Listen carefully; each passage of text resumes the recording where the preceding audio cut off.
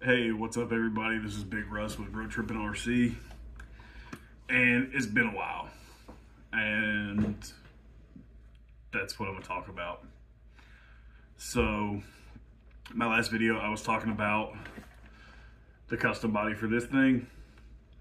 I have lost both my Dremels somehow. And obviously you can see I have moved.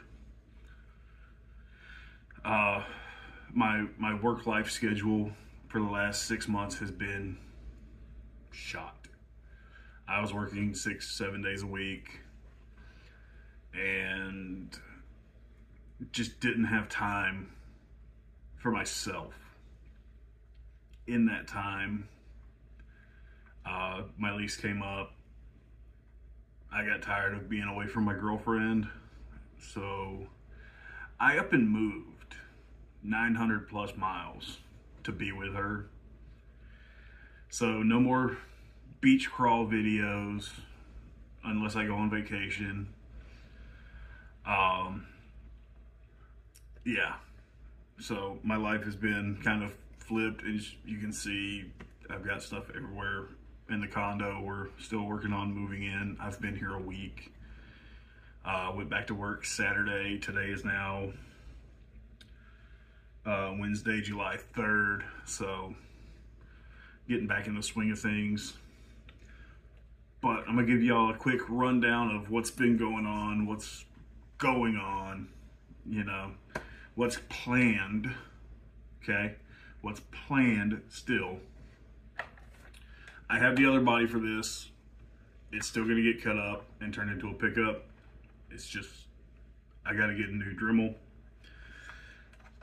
Um, I put my DJ crawler wheels and tires on. And if anybody's wondering, yes, you can put 62 millimeter tires on a Defender with just, with minimal modifications, really.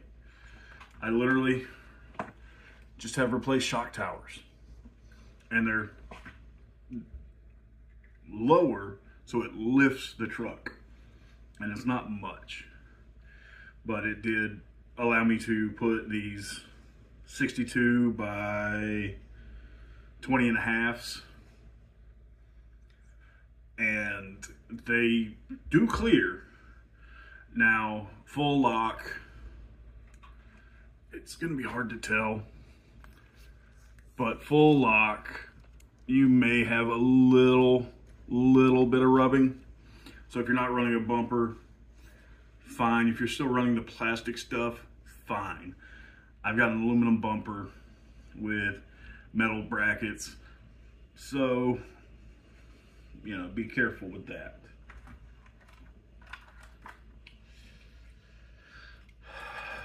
Anybody remembers these and this thing?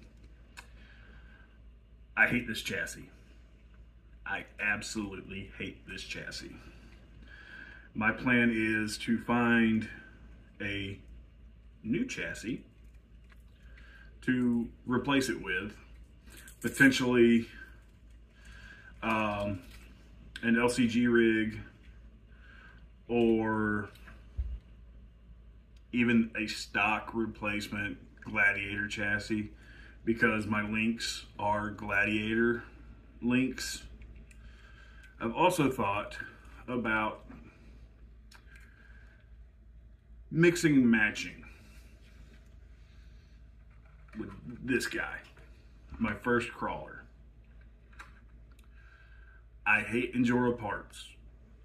I know I have a few. I've got their purple motor right here. These blue shocks I got from Injora, never even got to try them out because the shock rod's bent on three out of the four. Hence why there's only one on here. Um, if I remember correctly, I don't even remember which motor this is because it's not the factory one. If y'all, as y'all can see, the factory one's like half that size. Um, this will probably probably end up with some nice tasty upgrades come this winter mainly because it's gonna snow. So the only rigs I have that are snowproof are the steel stock Bronco in Area 51. Still one of my favorite colors. Probably the best color on the Broncos that they offer next to maybe yellow. But this thing, the only things that have been done, Pro Light kit and DJ crawler wheels that do look so good and they do look factory.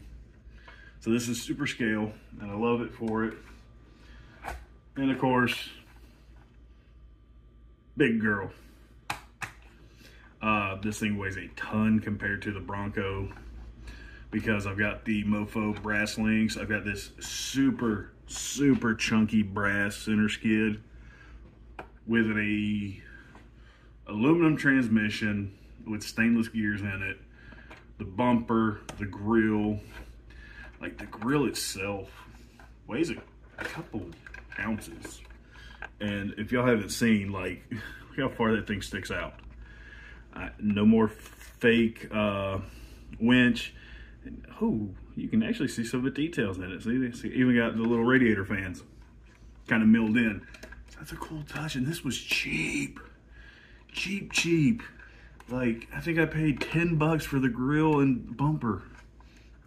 And the bumper came with a winch mount. Oh, so those are those. Check out what happened to my boy Chameleon.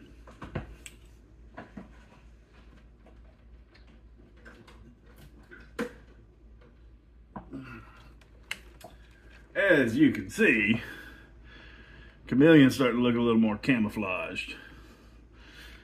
Paint missing, and I'm here for it. I mean, you see, we are missing paint all over this rig. And somehow in my move, I am missing a headlight lens. So, Chameleon's looking real hoopty-ish, and I'm here for it. I've not really had a chance to try out these tires and wheels, especially with the uh, cantilever rear. I hope to get to take it out soon. This truck's still one of my favorites. Um, yeah, it is what it is with this truck. It's solid. It's still running the Traxxas brushed motor. It will get a Hobbywing Fusion. Probably not the Pro, probably just the SEs. Because I still have my uh, SCX 10.2 to finish. And everybody, oh, well, you got the 10.2. I built the 10.2 two years ago. Built the chassis two years ago and just never knew what to put in it. Never knew, because I didn't have anybody around me influence me and help me. So that one will get a Fusion SE. Don't know what servo I'm gonna go on it. I've got to find a bumper to fit with the Sumo body. Um, y'all have seen the body and it is sick and I love it. I've got to find wheels to fit the theme. The uh, the axial wheels look great with it, but they're not perfect, if you get what I'm saying. Um, yeah, just little little things that are going on that we got to figure out. Like I said, this is probably the first one on the chopping block. Um, it has good parts in terms of like what's there. I've got high clearance links. The shocks could be better. They're the high uh, hot racing triple telescoping, which I mean, let's be real. That's some crazy flex. I'm just not happy with how the chassis works. There's not enough weight to it to be good. And now that I'm looking at it, probably the only Injora part that I have that's worth a damn is my center skid. That's saying something. So I've got I've got a list together of kind of what I'm thinking about doing. those axles may go under the C10 with, uh, I think they're wider. So may flip the uh, RC four-wheel drive wheels around and put some smaller tires on it. So if anybody was curious, yes, those are RC four-wheel drive wheels and they're mudslinger tires. And these do actually fit on the Defender really nicely. But with the new look I was going for, went with the uh, old school like eight hole beadlock steely look. I think it looks great, especially on the green. Like that's a tough combo right there. That is tough. This looks like something you would see going down the road. Whereas this looks like something you'd see sitting at the dealership.